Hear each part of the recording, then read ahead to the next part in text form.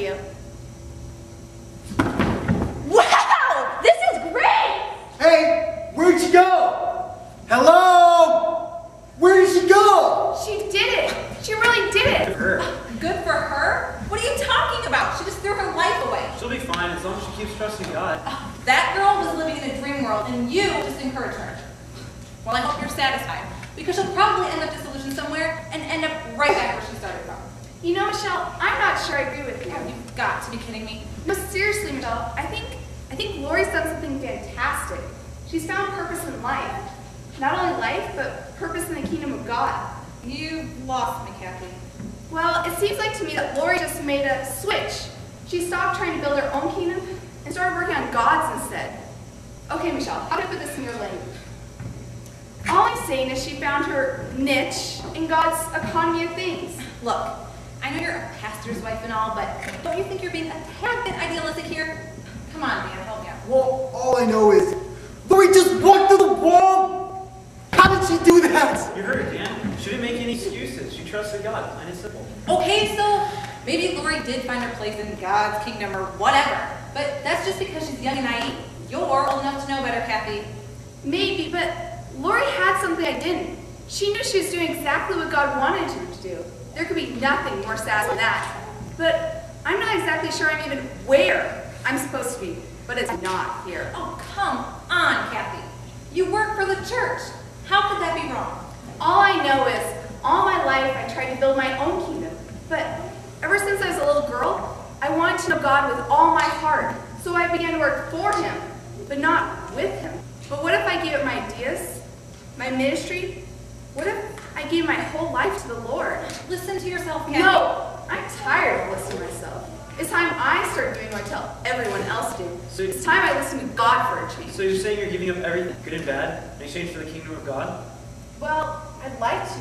I just don't know if I can. The only one stopping you is yourself. You're right. You're right, thank you. You're welcome. Well, see you all later. No, no, no, no, no. Hey, wait for me, Kathy. Why won't it work for me?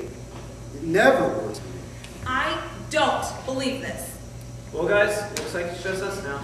Okay, who the heck are you? For being stuck in here with the rest of us, you sure act like some big shot know-it-all. Well, for one thing, none of us are stuck in here. Oh, yeah, whatever. Look, you can go if you want, but Dan and I are happy right where we are. Thank you very much. Michelle, Dan, when you realize who I am, you'll be free. But until you have the faith of a little child, you're right. You'll never leave here. I've got to go now. Wait, why did you say that? My father, he used to tell me that. I know, Dan. Your father and I are best friends. I love you guys. Hey, wait! How did you know my father? What's up, Dan? So some guy knows your dad and you're freaking out about it. Listen, my dad, he died when I was eight. But I never forgot what he said to me. Hey, Dan, I didn't mean... I used to want to be just like my father. To have a relationship with God just like he did. And then he was dead. He was taken from me. Why would God take him from me? As I grew up, I lost that faith I had when I was a little child. Now look at me. I'm just an angry, cynical, frustrated accountant. Well, I guess that's the difference between you and me. Because I never wanted to be like my dad. At least your dad loved you. My dad left me when I was five. And when I got old enough to realize the things that he had done to my mom, I swore I would never become a failure like him. So, I became a successful businesswoman, and, and you, you become- become... don't belong in here. Oh, what else is there? This is our life. Well, all I know is my life consists of a small room, four walls, and no windows. I'm sick and tired of not having a view of something bigger.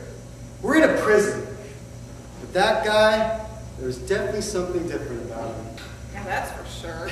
Seriously, just think about what he said for minute. Oh, come on, Dan. That guy was always spouting nonsense. What are you getting at? He said, if we figured out who he was, we'd be free. Okay, so who was he? Probably gonna think I'm crazy saying this, but the only person that my father ever referred to as his best friend was, well, God. What? Dan, you need a break. No, I think I understand now. These walls, they're not real. They're things we put here for ourselves. The only way we're going to be free is to lose them, to get rid of them. That's what Kathy did. and Lori too. Well, that's just great. So, what are you gonna do? Well, if this prison is my choice, then I'm going to just do what my father told me to do. What God told me to do. I'm taking back that faith that I had when I was a little child. I'm getting out of here. You'll never make it. You rely way too much on your emotions. I hope to see you later. Don't hold your breath. Hey God, I know it was you now. I figured it out, just like you said.